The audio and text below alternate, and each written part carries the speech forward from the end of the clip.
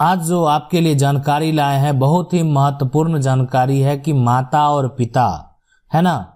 माता पिता जो हैं घर में आ, उनके द्वारा अपनी कमाई से खरीदा हुआ संपत्ति। माता पिता हैं अब वो कमाई से मान लेते हैं घर खरीदे प्लॉट खरीदे या बहुत कुछ गाड़ी खरीदे है ना? बहुत कुछ जो है वो उनका अपने कमाई से किया हुआ है। तो उस संपत्ति में जो बेटे हैं और बेटी का अधिकार होता है या नहीं होता, आप समझेंगे बेटा अधिकार होगा कि नहीं होगा। लेकिन समझने वाली बात है कि इसका कानूनी नियम प्रक्रिया क्या है है ना? अधिकार की अगर बात करेंगे तो इसका कानूनी नियम प्रक्रिया क्या है, उसको समझना बेहद ज़रूरी है। ठीक है? तो चलिए समझते हैं। देखिए, संपत्ति दो तरह का होता है कि जब आप अपने एक स्टेज पे रहते हैं तो एक होता है कि अगर मान लेते आपके पिता है, कि उनको उनके पिता से मिला हुआ संपत्ति है है ना? ये भी पिता है अब इनको पिता से मिला हुआ संपत्ति है है ना? अब इनको इनके पिता से मिला हुआ संपत्ति होगा। तो अब ये जो अभी वर्तमान में आप देख रहे हैं, ये जो है, ये पिता है, अब ये लेकिन जो है मतलब एक अच्छे बिजनेसमैन है, लेकिन इन्होंने भी बहुत सारी संपत्ति अर्जित कर ली।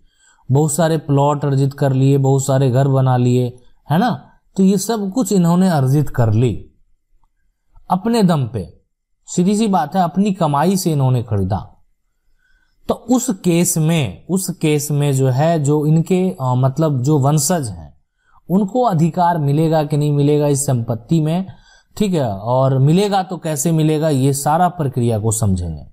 तो देखें सबसे पहले अगर माँ संपत्ति पैतृक हो पैतृक हो मतलब पूर्वज के द्वारा पिता को मिला हुआ है है ना? पिता है और इनका जो संपत्ति है वो पैतृक है। मतलब जो है इनके पिता के द्वारा इनको मिला हुआ, ये जीवन में कुछ नहीं कर दे, में कुछ नहीं कर दे। तब इनका जो है बेटे बेटी को, ये जो है ना बेटे बेटी को समान अधिकार मिलेगा। बेटे बेटी को अधिकार समान मिलेगा। और समझने वाली बात यहाँ पे ये है कि जो बेटे और बेटी हैं, जो बेटे और बेटी हैं, वो कानूनन भी अधिकार ले सकते हैं। कानून में जाके अपना लड़ाई करके जो भी है है ना तो वो वहाँ से भी अपना हक प्राप्त कर सकते हैं।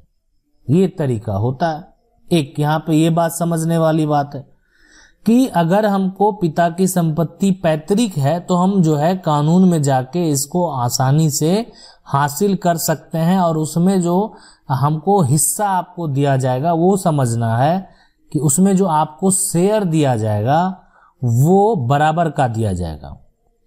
मतलब क्या हुआ कि एक शेयर में पिता भी होंगे, एक में बेटा भी होगा और दूसरे में बेटी। शेयर में इसको डिवाइड करके दिया जाएगा, अगर पिता जीवित हैं तो।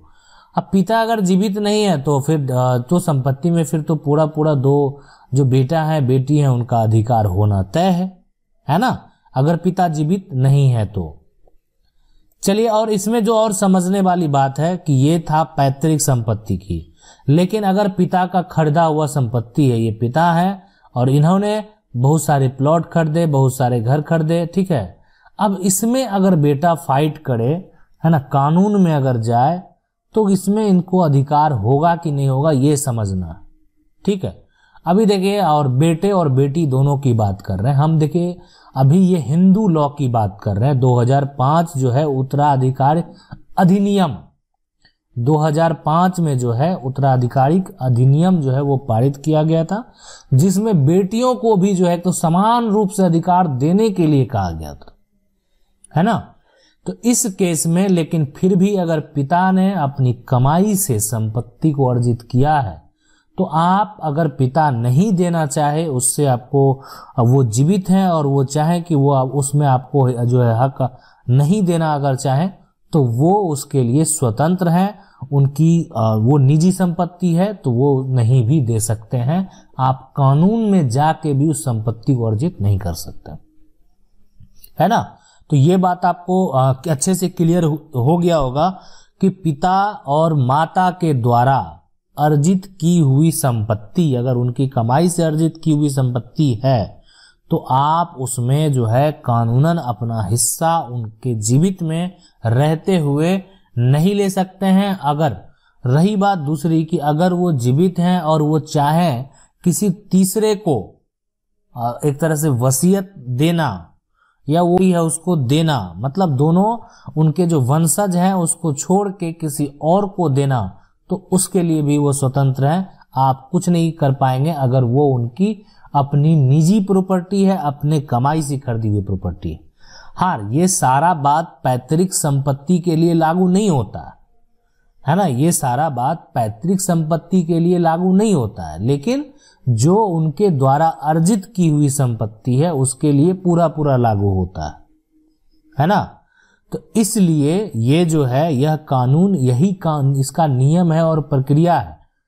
अब देखिए, इसमें समझने वाली बात यह है कि अगर पिता के द्वारा अर्जित की हुई संपत्ति है और पिता की मृत्यु हो गई हो, है ना? पिता के द्वारा अर्जित की हुई संपत्ति है, पिता के द्वारा यह अर्जित की हुई संपत्ति है, बहुत सारे प्लॉट हैं, घर हैं, अब जो है पिता की मृत्यु हो गई हो। तब तब इसमें समझने वाली बात यह है कि इसमें है बेटा, बेटी और वो जो है एक वहाँ पे विधवा होगी। जो उनकी माँ होगी। तो तीनों को समान अधिकार में कोर्ट के द्वारा डिवाइड करके यहाँ पे मिलेगा। है ना? यहाँ पे ये संपत्ति का हक जो है, एक तरह से बराबर रूप में अगर पिता के द्वारा अर्जित की हुई है, पिता के नाम पे है तो उसमें माँ का भी एक शेयर होगा, एक बेटे का भी होगा और बेटी का भी होगा। आप कानूनन उसको उस तरीके से ले सकते हैं। लेकिन अगर मान लेते हैं पिता जीवित हैं तो ये काम आप कतई नहीं कर सकते हैं। अगर वो पिता इसके लिए स्वतंत्र है, अगर वो देना चाहे तो दे सकते हैं। नहीं देना चाहे तो वो नहीं देंगे फिर। है ना? आप उसको कानूनन नहीं ले सकते हैं। अब इसमें एक बात चल के आती है कि आपके मन में ऐसा सवाल होता होगा कि पिता के नाम संपत्ति अगर है है ना? पिता के, है ना? पिता के नाम अगर संपत्ति है, हम बेटा हैं तो हम उसको बेच सकते हैं नहीं? रजिस्ट्री कर सकते हैं नहीं सकते तो अगर आप ऐसा करते हैं, पिता की अर्जित की हुई संपत्ति है, पिता के द्वारा खरीदी गई संपत्ति है, आप मान लेते हैं, ठीक है, वंशज बन के उसको बेच देते हैं, रजिस्ट्री हो जाता है, लेकिन वो फर्जी रजिस्ट्री कहलाएगा। मतलब वो रजिस्ट्री लीगल नहीं होगा, वो फर्जी होगा। पिता चाहेंगे तो उसको फिर कैंसिल करा सकते हैं, उसका दाखिल खारिज नहीं होगा तो वह यानी वो हो जाएगा फर्जी ज़मीन का रजिस्ट्री मतलब फर्जी प्रॉपर्टी रजिस्ट्री हो जाएगा वो। है ना?